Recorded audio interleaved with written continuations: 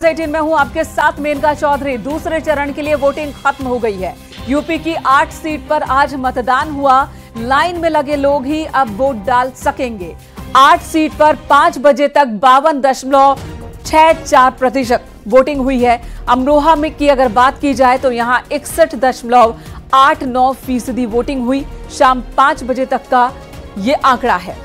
वहीं मेरठ की बात की जाए तो शाम पाँच बजे तक चौवन दशमलव छह दो फ़ीसदी मतदान, बागपत में बावन दशमलव सात चार फ़ीसदी मतदान। तो वहीं गाजियाबाद में पाँच बजे तक अड़तालीस दशमलव दो एक फ़ीसदी वोटिंग हुई है। गौतम बुद्ध नगर में इक्यावन दशमलव छह छह फ़ीसदी मतदान, बुलंदशहर में चौवन दशमलव तीन चार फ़ीसदी वोटिंग हुई है। अलीगढ़ में शाम पाँच बजे तक चौवन दशमलव तीन छह फ़ीसदी मतदान हुआ। तो मथुरा में छियालीस दशमलव नौ छह फ़ीसदी वोटिंग, दूसरे दौर में इन आठ सीटों पर मतदान खत्म हो चुका है। अभी जो लाइन में लगे हैं लोग, वो ही वोट कास्ट कर सकेंगे। नए मतदाता लाइन में नहीं जुड़ सकेंगे। तो सुबह सात बजे से शाम छह बजे तक मतदान का वक्त दूसरे चरण की वोटिंग खत्म हो गई है। पूरे देश की अगर बात की जाए तो 88 लोकसभा सीटों पर आज वोटिंग हुई है और वहीं उत्तर प्रदेश की बात की जाए तो आठ लोकसभा सीटों पर आज मतदान हुआ। इक्यानवे कैंडिडेट चुनावी मैदान में अलग अलग राजनीतिक दलों की ओर से इन सब की किस्मत अब ईवीएम में कैद हो चुकी है। चार जून को नतीजे आएँगे जब काउंटिंग होगी, पूरे देश की काउंटिंग होगी तब नतीजे आएँगे। लेकिन आज आठ सीटों पर जहाँ मतदान हुआ है परसेंटेज हम आपको दिखा रहे हैं। शाम पाँच बजे तक क्या वोट पर प्रतिशत रहा? अभी जो कतार में लोग लगे हैं लाइन में लगे हैं, वो वोट कास्ट कर सकेंगे। तो न्यूज़ 18 पर आप देख रहे हैं, मतदान कितना हुआ शाम पाँच बजे तक? प्रतिशत में ये हम आपको दिखा रहे हैं। बागपत बावन दशमलव सात चार फ़ीसदी मतदान बागपत में हुआ है। वही बात अगर हम गाजियाबाद की कर लें, शहरी इलाके हैं, अड़तालीस दशमलव दो एक फ़ीसदी मतदान। इस मतदान को भी बहुत ज़्यादा अच्छा नहीं कहा जा सकता है। इक्यावन दशमलव छह छह फ़ीसदी वोटिंग गौतम बुद्ध नगर में हुई है। शहरी इलाकों में खासकर वोट प्रतिशत बढ़ता हुआ नहीं दिख रहा है। बुलंदशहर में चौवन दशमलव तीन चार फ़ीसदी मतदान हुआ है। हालाँकि अभी उन लोगों की आ, काउंटिंग इसमें नहीं है शामिल जो अभी कतार में ही लगे जिन्होंने वोट कास्ट नहीं किया है। अलीगढ़ चौवन दशमलव तीन छह फ़ीसदी मतदान हुआ है। मथुरा छियालीस दशमलव नौ छह फ़ीसदी वोटिंग हुई है। शाम पाँच बजे तक का ये आंकड़ा है। उसके बाद जिन लोगों ने वोट कास्ट किया है, जो कर रहे हैं, वो फाइनल जब आंकड़ा आएगा, वो भी न्यूज़ एटीन आपको बताएगा। तो चलिए दूसरे चरण का मतदान संपन्न हो चुका है। अब भी कई जगहों पर लोग कतार में लगे हुए हैं और ग्राउंड ज़ीरो पर हमारे सहयोगी मौजूद हैं। गाजियाबाद से फरा खान हमारे साथ मौजूद हैं। अमरोहा से राजीव सिंह है, मेरठ से उमेश श्रीवास्तव है, बागपत से पवन गौड़ है। सबके पास बारी बारी से चलते हैं। सबसे पहले बागपत का रुख कर लेते हैं। पवन, यहाँ पर मामला बहुत दिलचस्प है। पिछली बार चीज़ें अलग थी। इस बार आरएलडी और बीजेपी एक साथ है, एनडीए गठबंधन है और आरएलडी के खाते में ये सीट गई है। वोट प्रतिशत के लिहाज से और लोगों में किस तरह का उत्साह दिखा? हालाँकि शाम का वक्त है। देखिए, अभी भी मतदान जारी है, लेकिन आपके पीछे बिल्कुल सन्नाटा दिख रहा है।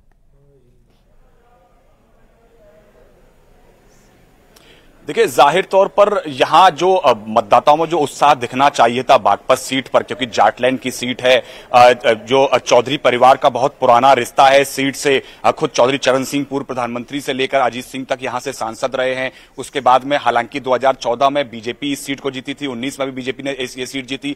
इस बार बीजेपी और आरएलडी गठबंधन में ये आरएलडी के लिए सीट चली गई, लेकिन वोटरों में इस बार जो है उत्साह बहुत ज़्यादा दिखा नहीं था।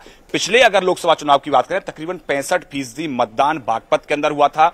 इस बार सिर्फ़ अभी तक अगर पाँच बजे तक के आंकड़ों की अगर बात करें तो बावन दशमलव सात चार प्रतिशत यानी तकरीबन तिरपन परसेंट मतदान यहाँ तक हुआ है। अगर जिस बूथ की मैं बात करूँ यमुना इंटर कॉलेज में ये जो बूथ बनाया गया है यहाँ पर भी तकरीबन पचपन फ़ीसदी मतदान अभी तक पाँच बजे तक की अगर रिपोर्ट्स की बात करें तो हुआ है।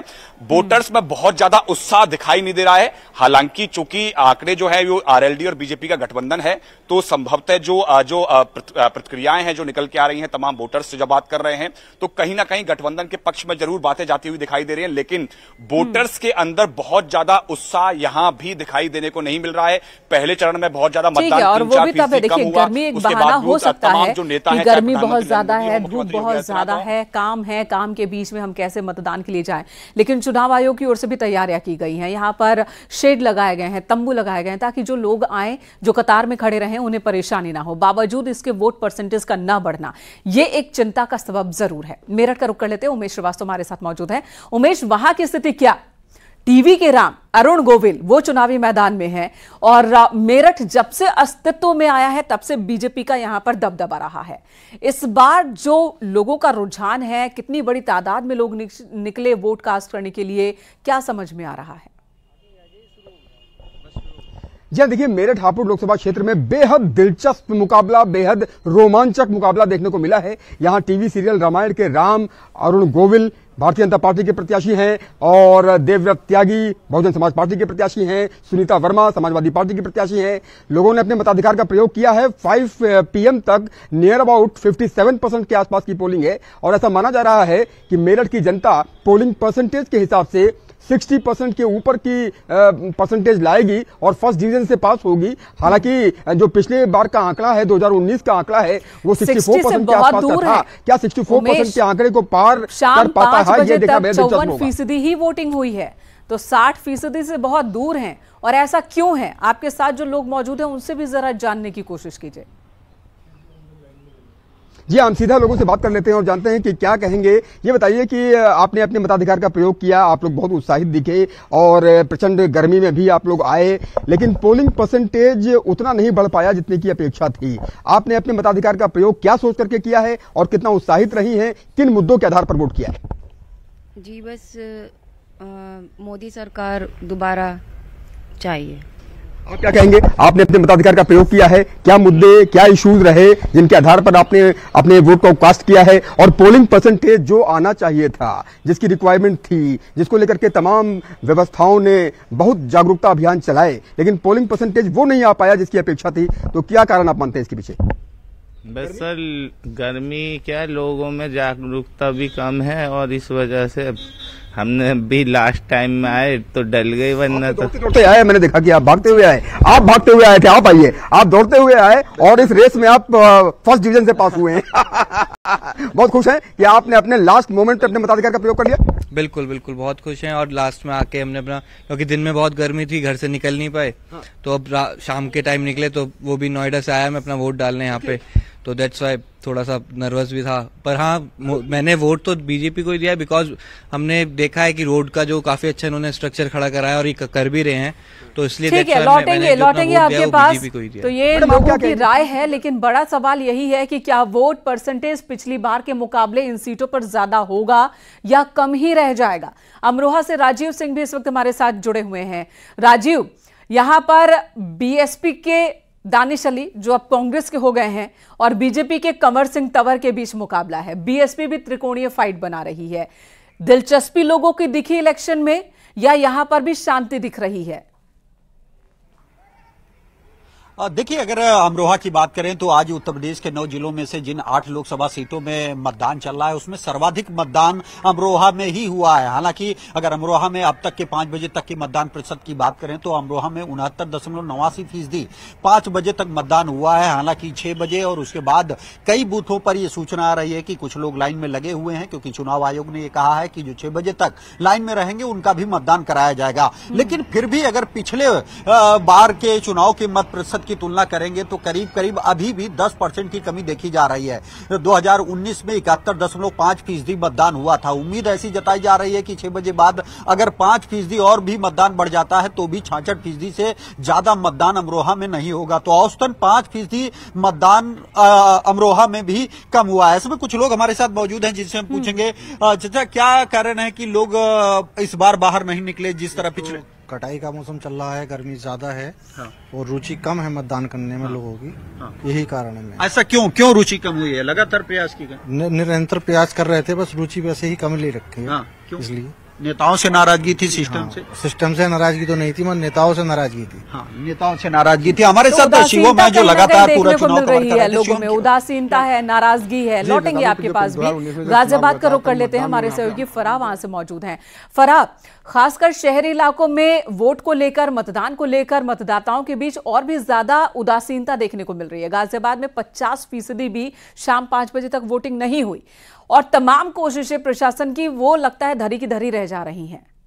आपने लोगों से बातचीत की, किस तरह का रुख है? इनका बिल्कुल देखिए अगर हम गाजियाबाद की बात करें तो शहरी वोटर्स पर बहुत ज़्यादा फोकस किया गया था। इसी के लिए कदम उठाया था कि जो ढाईसौ हाई राइज बिल्डिंग्स हैं वहाँ पर जो है लोगों को दिक्कत ना हो वहाँ पर पोलिंग बूथ बनाई गई थी। लेकिन अगर हम बात करें तो सिर्फ़ 48 प्रतिशत जो है वो वोटिंग हुई है पाँच बजे तक। और अगर हम 2014 की बात करें तो छप्पन प्रतिशत थी और 2019 की बात करें तो पचपन प्रतिशत थी। और उसी तरीके से अब हम देख सकते हैं कि अब ये आशंका लगाई जा रही है कि उतना भी पूरा हो पाएगा या नहीं? तो वोटिंग परसेंटेज बहुत ज़्यादा कम हुई है। देखिए यहाँ का मुकाबला ज़रूर दिलचस्प है और लोगों का जो सिनेरियो है वो बदला है और लोगों का साफ़ तौर पर ये कहना है अपने मुद्दों को लेकर उन्होंने काम को लेकर वोट किया है लेकिन इनका जो प्रयास किए गए थे क्योंकि लोगों से अपील की गई थी और ये लग रहा था कि लोग जो है अपनी बिल्डिंग से नहीं जा पाएँगे एक लॉन्ग वीकेंड है उसका असर कहीं ना कहीं यहाँ देखने को मिला है क्योंकि देखिए गाजियाबाद दिल्ली से सटी सीट है और इसको हाई प्रोफ़ाइल वीवीआईपी सीट कहा जाता है। लेकिन जिस तरीके से वोटिंग परसेंटेज लगातार कम हो रही है ये निराशाजनक है और लोगों में उस तरीके से उत्साह देखने को नहीं मिला क्योंकि ये कयास लगाए जा रहे थे कि चलिए दोपहर का वक्त है लेकिन जब शाम हुई तो शाम में भी जो है वो उस तरीके से लाइनें नहीं देखने को मिली। मैं जैनमती इंटर कॉलेज थी मैं यहाँ आई तो मैंने देखा कि सुबह में और तो यहाँ जा रहे थे कि सबसे बड़ी खत्म हो गई जैसे धूप खत्म हो गई तो लोगों की संख्या ज़्यादा देखने को मिलेगी लेकिन ऐसा हुआ नहीं। जबकि ये वीकडेज है वीकेंड भी नहीं है। वीकेंड पर कई बार होता है कि माना जाता है कि लोग आ, आराम करने के मूड में आ जाते हैं। वो नहीं चाहते कि अपनी आराम आ, में कोई खलल हो उनके आराम में। लेकिन वीकेंड पर तो और वो भी तब जब तमाम शिक्षण संस्थानों की बात करें या ऑफ़िस की बात करें हाफ़ डे की छुट्टी फुल डे की छुट्टी और उसके बाद भी वोट परसेंटेज का इस तरह से कम रह जाना यह चिंता का विषय ज़रूर है। आप सभी का बहुत बहुत धन्यवाद। राजीव पवन मेरठ से उमेश और फरा आप सभी का बहुत बहुत धन्यवाद। इस वक्त पूरी चर्चा के लिए तस्वीरें हमारे दर्शकों तक पहुँचाने के लिए, लेकिन चिंता यही है कि आखिर वोट परसेंटेज को बढ़ाया कैसे जाए। चुनाव आयोग तमाम कोशिशें कर रहा है, लेकिन वो कारगर होती साबित नहीं दिख रही हैं। दूसरे चरण की वोटिंग के लिए लोगों में किस तरह का उत्साह दिखा, ये भी हम आपको दिखा रहे हैं। हालाँकि वोट परसेंटेज ज़रूर नहीं बढ़ा, लेकिन जो पहुँचे हैं, वो देखिए, वो तस्वीरें हम आपको दिखा रहे हैं। ये कुछ मुख्य मुख्य चेहरे हैं आपके सामने टीवी स्क्रीन पर। युवा से लेकर बुज़ुर्ग तक लोकतंत्र को मज़बूत करने के लिए बाहर निकले। और अशोक गहलोत जोधपुर में उन्होंने वोट कास्ट किया। पी विजयन जिन्होंने कन्नूर में वोट कास्ट किया। ओम बिरला, कोटा में उन्होंने वोट कास्ट किया। इनकी किस्मत भी आज ईवीएम में कैद हो गई। रविंद्र सिंह भाटी, बाड़मेर में इन्होंने वोट कास्ट किया। ये वीवीआईपी चेहरे हैं, जो इस वक्त हम आपको टीवी स्क्रीन पर दिखा रहे हैं। अब ये भागलपुर मथुरा अमरावती की तस्वीर देखिए। बेंगलुरु, त्रिशूर की तस्वीर देखिए। बेंगलुरु में राहुल द्रविड़, जो कि लाइन में खड़े होकर जिन्होंने मतदान किया है। वहीं बेंगलुरु में नारायण मूर्ति ने वोट कास्ट किया। भागलपुर में की तस्वीर आप देखिए, जहाँ पर नेहा शर्मा परिवार के साथ पहुँची वोट कास्ट करने के लिए।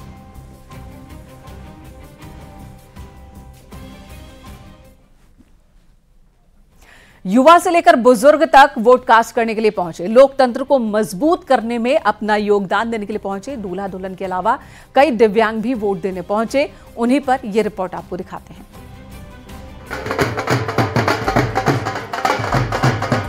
गाजियाबाद में एक दुल्हन ढोल नगाड़ों के साथ मतदान केंद्र के लिए निकली। हाथ में वोटर कार्ड लिए वो मतदान करने पहुँची। दुल्हन को पोलिंग बूथ पर देखकर दूसरे वोटर भी हैरान ज़रूर हुए। अमरोहा में दूल्हा गाड़ी में सवार होकर वोट देने पहुँचा।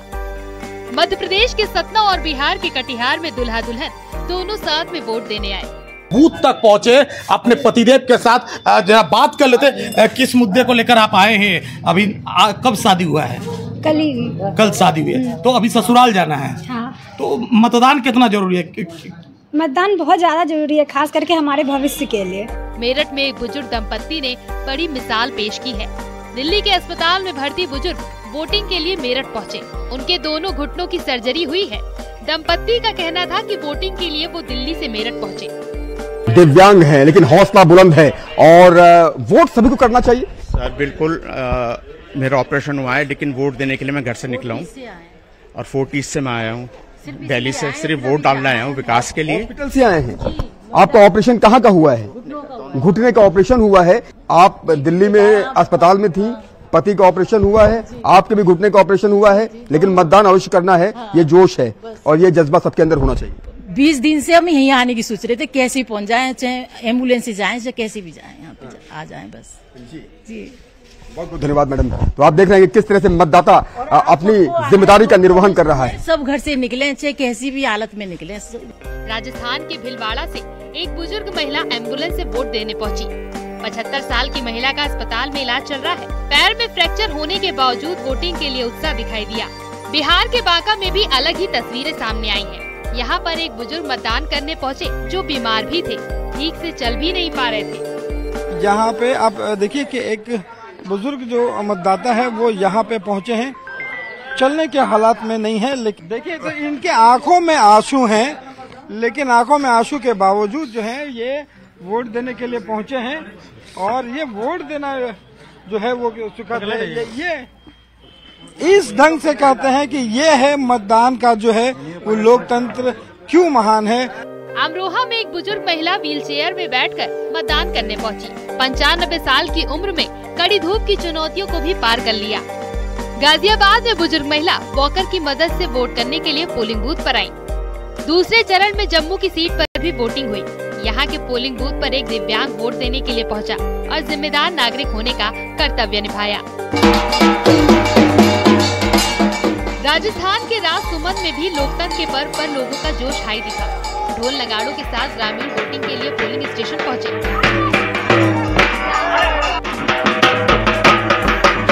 राजस्थान के बाड़मेर में लोग बस और ट्रेनों में दूसरी जगह से अपने मतदान क्षेत्र में वोट करने के लिए पहुँचे। 20 से करीब बसों से वोटर पोलिंग स्टेशन पर आए। जो पहली बार मतदाता बने हैं, वो छात्र भी वोट देने के लिए पहुँचे।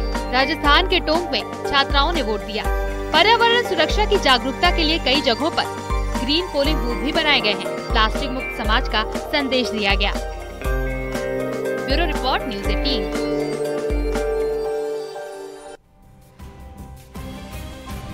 Lok Sabha चुनाव के दूसरे चरण में 88 सीट पर प्रत्याशियों का इम्तिहान है। इन सीट पर कई दिग्गजों की किस्मत भी दांव पर लगी है। केंद्रीय मंत्री से लेकर विपक्ष के बड़े नेता तक शामिल हैं इनमें। खुद वोट देने आए और लोगों से भी इन्होंने वोट डालने की अपील की। इसी पर एक रिपोर्ट आपको दिखाते हैं।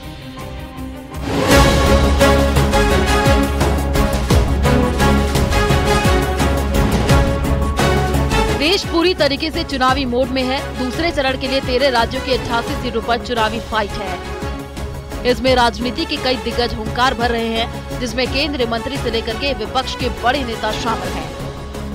लोकसभा स्पीकर ओम बिरला कोटा सीट से चुनावी मैदान में उतरे हैं। वोट डालने के बाद कहा राजस्थान में बीजेपी सभी सीटें जीतेगी विपक्ष पर वार किया। मोदी जी ने देश के अंदर जो ऐतिहासिक काम किए हैं जो ऐतिहासिक फैसले किए निर्णय किए देश को आगे बढ़ाया देश की ताकत दी है नई दिशा दी इस और आगे का रोड मैप बनाया इसलिए और लोगों का विश्वास भरोसा मोदी जी के प्रति बढ़ा। इंडिया गठबंधन आप मानते हैं कि मुकाबले में? इंडिया गठबंधन कोई गठबंधन बचाए नहीं। हाँ। उनके अलग अलग भाषा अलग अलग बोली है उनका कोई नेता डिसाइड नहीं है। इसलिए इंडिया गठबंधन बनाने की कोशिश की। लेकिन जब अलग अलग विचारधारा के लोग होते हैं अलग अलग भाषा यूज़ करते हैं तो मुझे लगता है इंडिया गठबंधन कहीं चुनाव में दिख ही नहीं रहा। कैबिनेट मंत्री गजेंद्र सिंह शेखावत की प्रतिष्ठा दाव पर लगी है। जोधपुर से वो चुनावी ताल ठोक रहे हैं। गजेंद्र सिंह शेखावत भी मतदान के लिए पहुँचे। कांग्रेस प्रत्याशी करण सिंह वो कह रहे हैं कि जिस तरह से आप दो में विकसित भारत की बात कर रहे हो वो ऐसी तरह से स्वर्ग तक सोने की सीढ़ी बनवा देंगे।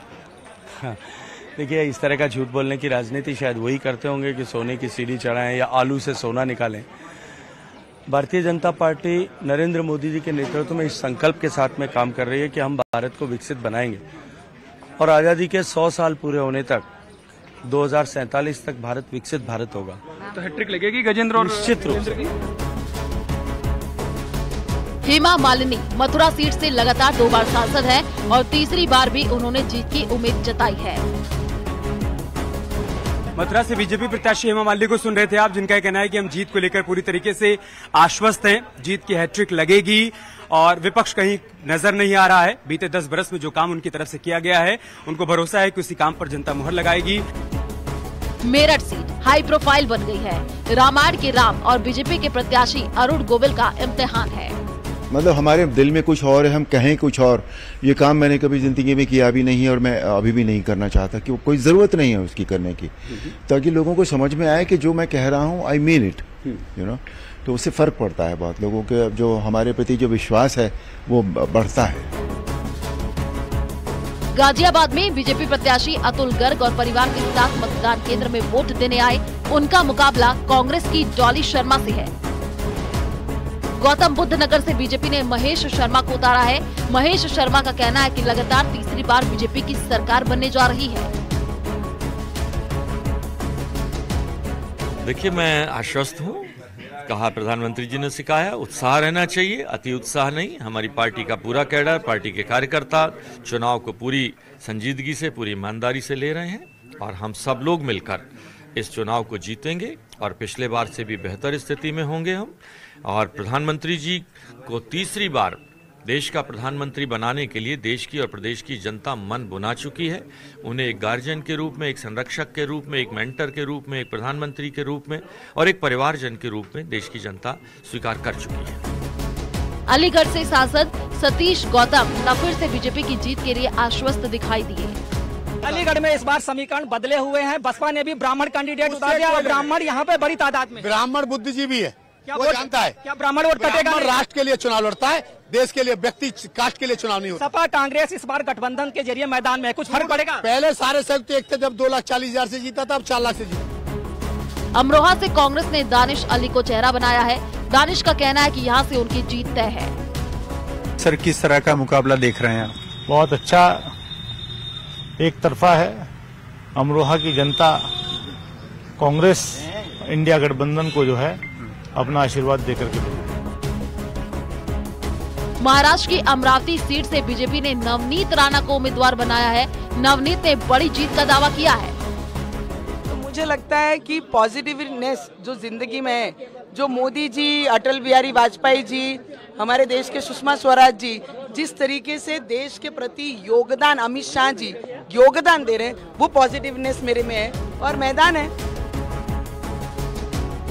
बीजेपी ने अपने युवा सांसद तेजस्वी सूर्या पर फिर से भरोसा जताया है। तेजस्वी सूर्या बेंगलुरु साउथ सीट से चुनाव लड़ रहे हैं।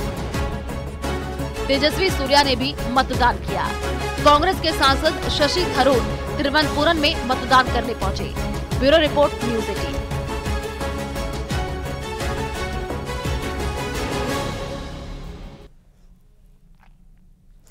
इसी बीच बड़ी खबर, ब्रिजभूषण सिंह को दिल्ली कोर्ट से झटका लगा। इस मामले में आगे की जाँच कराने की याचिका खारिज हो गई है। ब्रिजभूषण के खिलाफ आरोप तय कर दिए गए। कोर्ट अब 7 मई को अपना फैसला सुनाएगा। ब्रिजभूषण सिंह ने दावा किया था कि घटना के दिन वो भारत में नहीं थे। राउज एवेन्यू कोर्ट का यह मामला है। आगे की जाँच कराने की याचिका खारिज हुई है। ब्रिजभूषण को एक बड़ा झटका लगा है। एक तरफ़ वो इस उम्मीद में है कि उन्हें उम्मीदवार के तौर पर बीजेपी उतारेगी चुनाव मैदान में। उनके नाम की अनाउंसमेंट अभी तक नहीं हुई है उनकी सीट पर और दूसरी तरफ़ अदालत से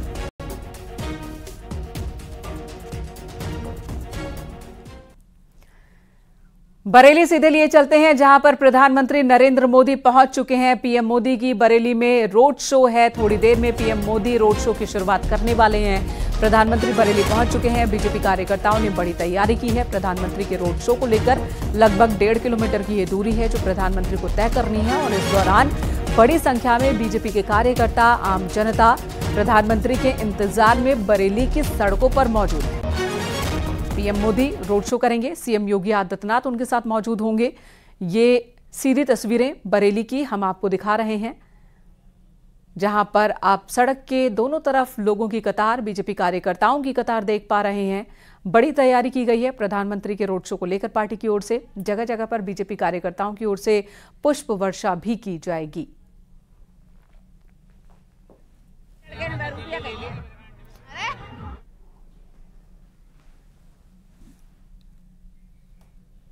यहाँ रुकेंगे एक ब्रेक के लिए तुरंत लौटेंगे बने रहे हमारे साथ।